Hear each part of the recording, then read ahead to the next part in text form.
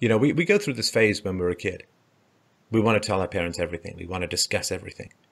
Yeah. It's the babble stories. I had a dream, and then this, and half of it's reality, and half is, and, and sometimes you have to really slap yourself in the face and pinch your own butt in your pockets to pay attention as parents because it can't. It's a bit monotonous, and it's a bit, you know, and then this, and then this, and then Yeah. this. But we want to share everything with our parents. We want to talk about everything with our parents. You know, the moment my daughter has something exciting, she'll, Mom, Mom, this happened, or I just did. Like, she wants to share everything.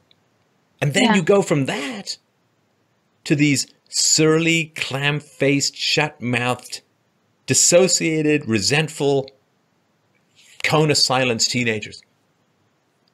How's your day at school? Fine. What you doing? Nothing. Where are you going? Out. this monosyllabic Chinese water torture of mm-hmm. non communication. What mm-hmm. happens?